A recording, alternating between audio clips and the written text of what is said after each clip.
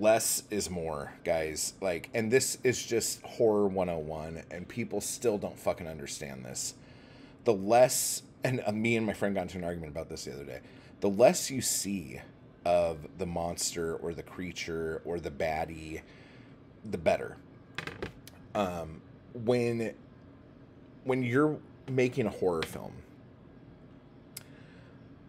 typically, with very few exceptions, but typically the audience is living vicariously through the victim of a movie. Okay. And that's why the 80s, well, mainly the 70s is where it started, but it didn't reach popularity until the 80s.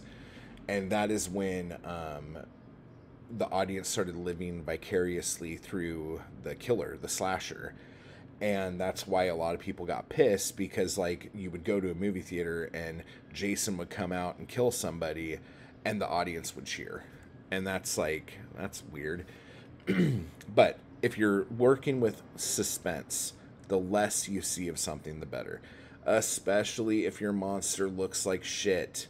Especially if your creature or whatever looks awful when we as audience members don't know what's going to happen next, we start very rapidly guessing, putting things together in our head, trying to prepare ourselves for what might come next, just so we're not too fucking scared.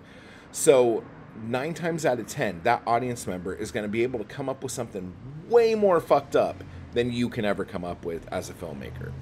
So the less you fucking show of anything, the better. Um, I have fucked this up a hundred times. Every fucking filmmaker out there has fucked this up a million times. Um, and we were talking about Leviathan, um, a crappy looking monster made by Stan Winston, who um, doesn't usually make crappy looking monsters, and that one wasn't great.